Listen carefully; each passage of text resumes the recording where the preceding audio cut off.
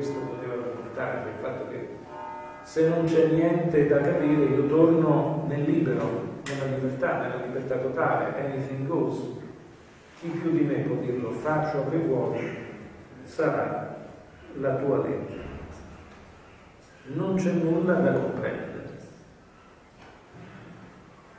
E se non fosse così però, ecco qui bisogna togliere diciamo, un po' splittaggio, diciamo, la scissione dell'individuo in se stesso, perché intanto la seconda parte, la seconda ipotesi, la seconda spiegazione del sogno, che non è spiegazione, cioè io non pretendo farvi imporre, la sto soltanto dicendo che lo Giuliano dice 30 anni fa.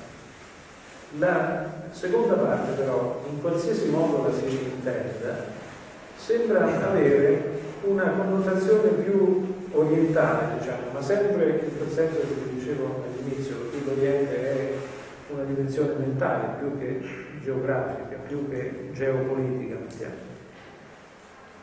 Ma questo perché mentre, diciamo, parlando veramente molto per schemi, dato che qui non si è fatto a lungo, però ora magari questo si può fare, nella logica dell'Oriente, dove penso in maniere diverse all'India, al Tibet, Cina, al Giappone, l'idea del nulla che nelle varie culture ha sempre assunto diversi nomi, però sembra diciamo molto frequente. Non è come per l'Occidente, l'Occidente nulla, salvo eccezioni che pure ci sono state, hanno un certo peso, ovviamente, in generale, molto in generale sembra che il nulla sia stato visto, penso per un caso tipico alla enciclopedia delle scienze filosofiche di Hegel, come un qualcosa che non abbia ragione di essere in qualche maniera. Ecco, perché comunque eh, il nulla è il niente, la negazione. Come fai a pensare al nulla? Alcuni dicono che non si può proprio pensare al nulla, questa è una, è una delle tante posizioni occidentali. Non si può pensare al nulla, non c'è niente da comprendere. Ecco, questo è il senso, diciamo, di qualcosa che si avvicina. Nulla è senza un fondamento. Ecco, questa parola, tra questa frase non ci arriva dall'Oriente ma dall'Occidente, da Leibniz. Un Leibniz molto imbevuto, diciamo, dello spirito cinese, delle scuole buddiste che poteva conoscere, tra l'altro, attraverso questi gesuiti che gliene parlavano. Questo Leibniz quindi che dice nulla è senza fondamento e nella mentalità diciamo occidentale questo viene colto, il fondamento c'è sempre, il fondamento c'è in tutti i casi. Poi c'è questa lezione diciamo di Heidegger che questa serie di lezioni appunto sul principio di ragione dice ma quello che lui vuol dire è che il nulla non ha fondamento e su questo sviluppa un suo discorso. Nella seconda posizione, comunque, per restare alla seconda posizione, non c'è niente da capire. Ora questo niente da capire ci rende liberi oppure no? Cioè come possiamo prenderlo? Era, come ripeto, uno slogan degli anni 60.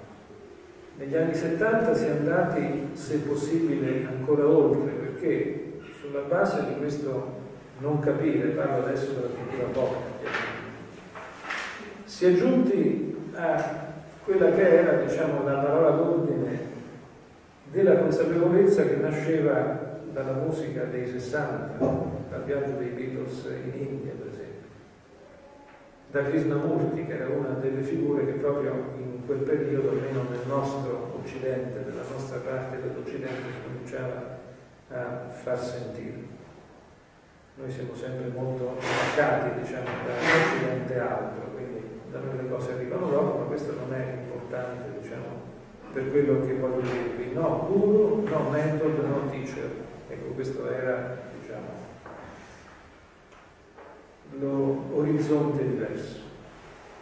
Non guru, perché anche, anche, anche l'esperienza dei Beatles lo mostra, no? cioè non c'è il guru. Noi non possiamo affidare a un altro il compito di dirci come dobbiamo vivere, ovvero quale può essere per noi il senso della vita. No metodo, non possiamo neanche credere che esista un metodo, che sia lo yoga, lo zen, il training autogeno o altri, che possa farci capire qualcosa, insomma, perlomeno del nudo, del nonsense. No teacher, guai a qualcuno che, essendo guru, volesse presentarsi come un maestro. E come vi ho detto c'è questa figura di Krishnamurti che lo dice più di altri, insiste più di altri su questa componente. Non c'è da cercare, lui lo dice con molta chiarezza, lui dice io ho cercato per tanti anni, per tante vite, appunto, perché anche quella è una illusione che finché è sentita è molto reale, al pari della credenza dell'inferno o di altri piani di coscienza post mortem.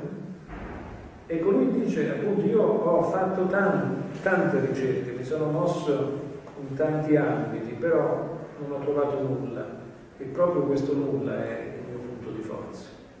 Non c'è niente da comprendere chi vi dice altro è qualcuno che vi illude, cioè qualcuno che gioca con la vostra vita come preti cristiani nel Medioevo o quelli brahmani nel mondo indiano, per non parlare diciamo, dei, dei confuciani. Insomma diciamo che ogni cultura, il Dalai Lama, il Tibet, insomma diciamo che ogni cultura ha sempre avuto le sue figure, diciamo, del senso, ecco, quelle che si sono presentate come figure del senso.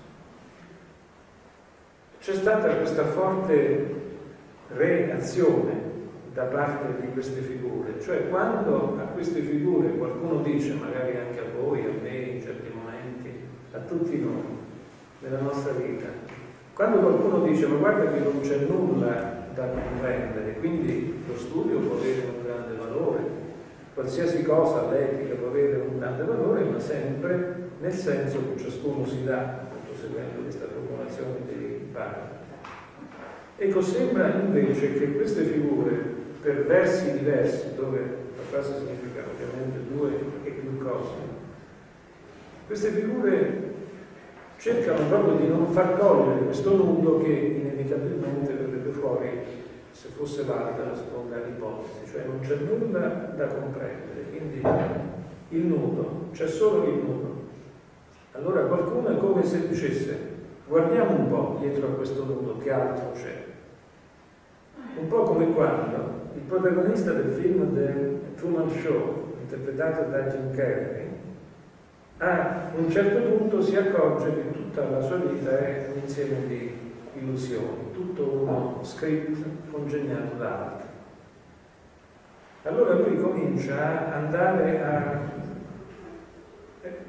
ritroso, diciamo, cioè torna indietro, torna indietro, come se cercasse un punto in cui c'è questa troupe immaginaria che sta girando il film, torna sempre indietro finché a un certo punto trova uno schermo che potrebbe essere la raffigurazione del velo di maglia tranquillamente.